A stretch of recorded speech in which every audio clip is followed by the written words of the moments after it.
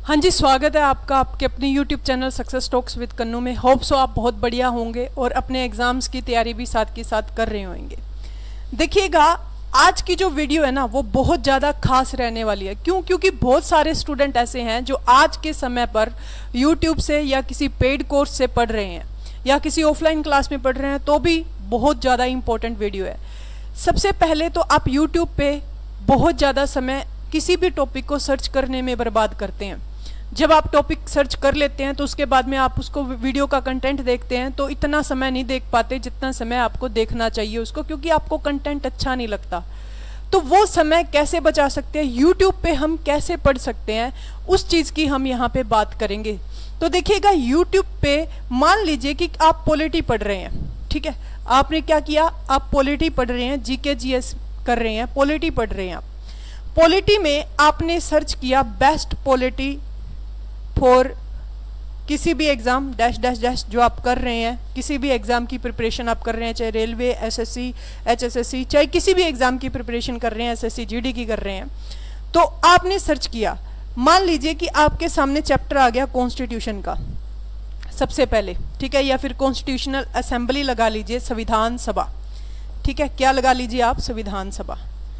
तो देखिए बच्चे, सबसे पहली बात जो मैं आपको यहाँ पे बताना चाहूँगी वो ये है कि जब आपने इसकी वीडियो सर्च की तो आपने 10 मिनट के लिए किसी टीचर की वीडियो देखी, आपको कंटेंट पसंद नहीं आया, आप फिर क्या करेंगे, उसके नीचे किसी दूसरे टीचर की वीडियो दे रखी होगी, आप वो खोलेंगे, फिर किसी तीसरे टीचर की वीडियो दे दे रखी होगी, वो खोलेंगे।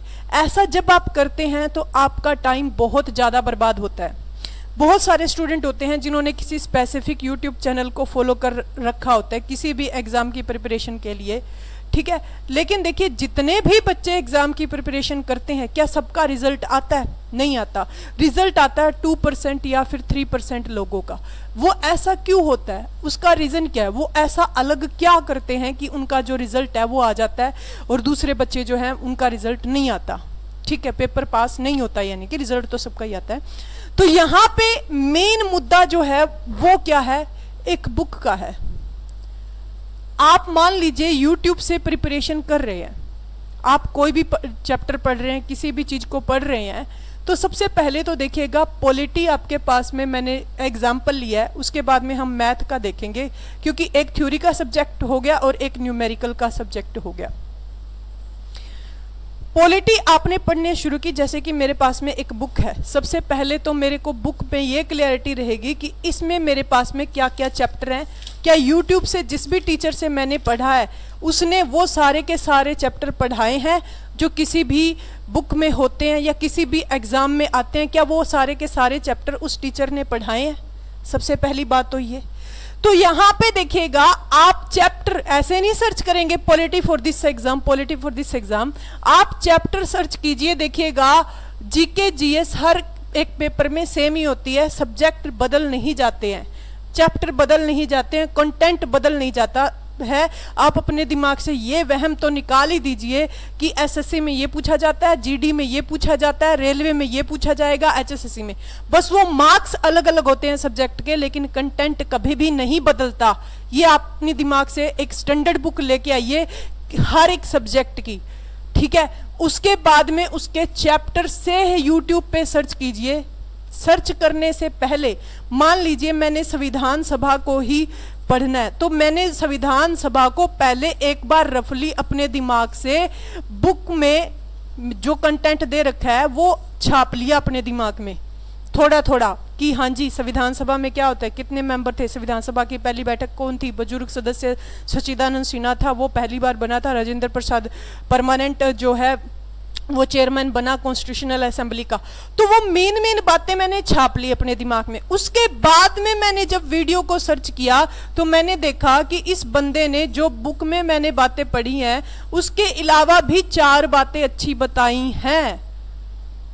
तब आप जाके मानना कि भी हाँ जी, ये कंटेंट बहुत ज़्यादा अच्छा है और इसको मैं रेगुलरिटी में फॉलो कर सकता हूँ या कर सकती हूँ।